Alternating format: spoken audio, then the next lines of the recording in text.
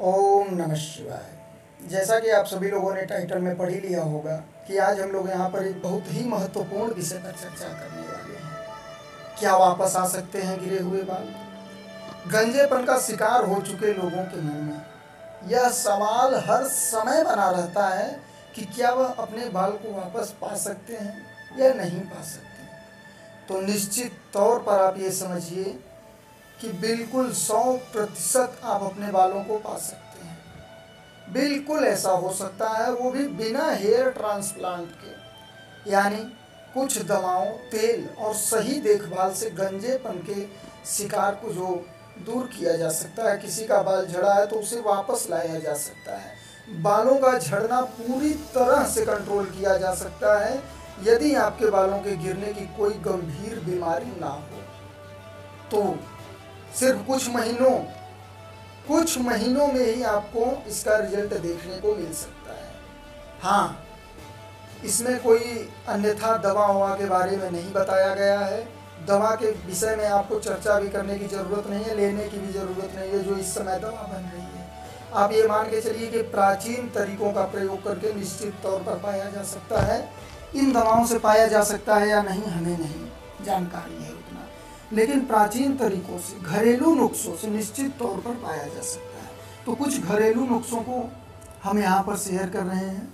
उनमें से जो भी आपको सुलभ हो, आप प्रयोग करके देखिए, निश्चित तौर पर फ़ायदा होगा। यदि किसी व्यक्ति के सिर के बाल बहुत अधिक झड़ चुके हैं या पूरी तरह से वह गंजा हो चुका है, तब भी बालों को फिर से उगाया जा सकता है।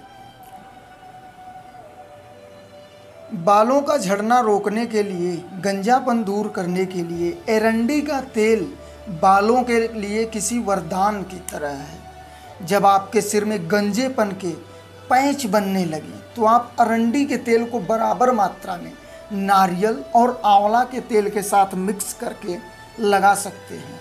हर रात को सोने से पहले सिर में इन तेलों की मिक्स लगाएँ और सुबह उठकर शैम्पू कर लें। यदि हर दिन करना संभव ना हो तो सप्ताह में दो से तीन दिन ऐसा ज़रूर करें।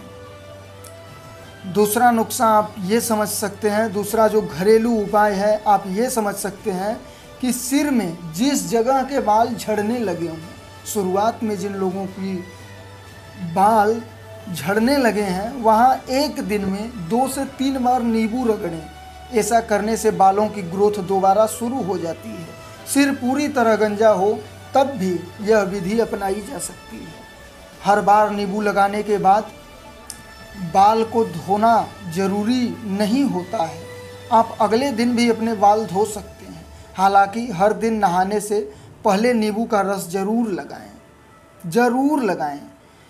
गंजेपन की वजह जानने के लिए आमतौर पर डॉक्टर जो टेस्ट करते हैं, इनमें वर्तमान के लक्षणों सहित आपकी मेडिकल हिस्ट्री डिटेल्स पर। वे जानकारी जुटाते हैं ताकि बालों के गिरने के सही कारण का पता चल सके।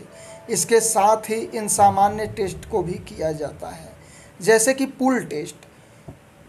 इस पुल टेस्ट में सिर के एक हिस्से पर कुछ बाल खींचे जाते हैं, ताकि यह पता किया जा सके कि हल्का सा खिंचाव आने पर कितने बाल निकलते हैं। ब्लड टेस्ट के ज़रिए भी यह पता लगाया जा सकता है कि शरीर में किन चीज़ों की कमी या अधिकता है जो बालों को नुकसान पहुँचा रही है। और कोशिकाओं और तंतुओं में आए बदलाव को जानकर इलाज का रास्ता साफ़ किया जाता है। इस हिसाब से आप समझ लीजिए कि ये दो तीन घरेलू नुस्खे जो हैं इन्हीं से आपको फ़ायदा होगा। और भी हैं, बहुत से होंगे। फ़ायदा अन्य से भी हो सकते हैं, ये बात नहीं है।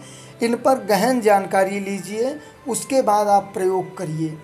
गहन जानकारी लीजिए, उसके बाद प्रयोग कीजिए और अच्छे से प्रयोग करते हुए नियमित तौर पर, जिस हिसाब से बताया गया है, नियमित तौर पर इसका अनुशासन के साथ पालन करिए। निश्चित तौर पर बालों का झड़ना रुक जाएगा। बहुत बहुत धन्यवाद आप सभी का, जो जो वीडियो यहाँ तक देख चुके हों। वीडियो अच्छा लगा हो तो आगे भी फॉरवर्ड करें, लोगों को देखने के लिए प्रेरित करें। बहुत बहुत धन्यवाद आप सभी का। ओम नमः शिवाय।